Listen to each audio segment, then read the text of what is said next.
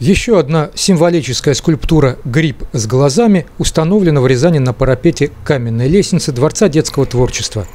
Это подарок городу от неравнодушных рязанцев, которых когда-то объединил лагерь актива старшеклассников «Рубин», и которые желают родной Рязани процветания. Ну, год назад, вы знаете, у нас в городе Рязани появилось уже пять таких скульптур, благодаря нашим рязанским скульпторам Василию Полине Горбунову.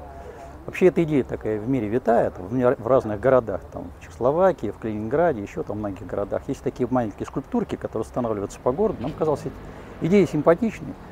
Вот. И в прошлом году пять скульптур таких было установлено. И была идея, чтобы с каждым годом Рязань как насыщалась. Но это наш рязанский ну, бренд. В Туле тульский самовар, тульский пряник, э, тамбовский волк, а у нас грибы с, э, грибы с глазами. Почему бы нет? Гриба пионера с самолетиком изваяли скульпторы Полина и Василий Горбуновы. Образ отсылает к кружковой работе Дворца пионеров, где когда-то юные моделисты строили макеты самолетов. К сожалению, авиамодельный кружок больше не действует, но взамен появились десятки других, не менее востребованных. Ну, это второй мой дом, да, практически я здесь вот жил.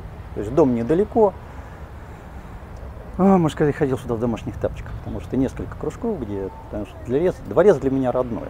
Вот. Но и самое главное еще тоже дворец связан, и этот гриб связан с Рубином. Там вообще началась история с того, что у нас есть такая традиция, у нас вот, у нас у рубиновцев, познакомившись, подружившись где-то там, жить, жители Рязани, жителям Рязани. Скоро возле одного из прудов в Конищеве появится гриб-рыбак. Готов к установке в парке РГУ имени Есенина и гриб-ученый. Это будет целая грибная семейка. Несколько уменьшенных грибов-пионеров, изготовленных Полиной и Василием Горбуновыми, по просьбе Арсена Бабурина будут подарены тем рязанцам, которые собирали средства на скульптуру. Дмитрий Соколов, РВ-ТВ.